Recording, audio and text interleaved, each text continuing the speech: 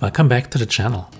First of all, a big congratulations to Pecco Bagnaia and Ducati for winning the MotoGP championship after 15 long years.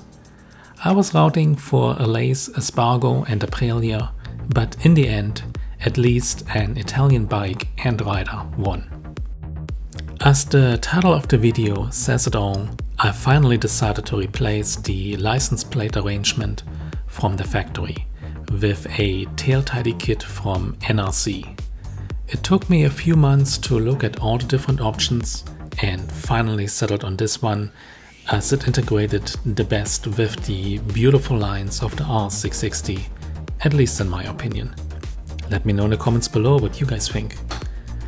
While the installation instruction video was only 2 minutes long, it did take me a good 2 hours to complete the task as there are some very hard to access bolts and nuts involved, as well as taking off some of the bodywork and inner workings in the tail section. The kit itself appears to be of high quality, is truly plug and play, and I am very satisfied with the result. Furthermore, the kit did not require the reusage of any components of the factory holder which means that it is easy reversible if desired. While it may not be 100% street legal, the way the plate is aligned, there is room to bend it farther down if needed to be. For now, I just take my chances and enjoy the beautiful integration.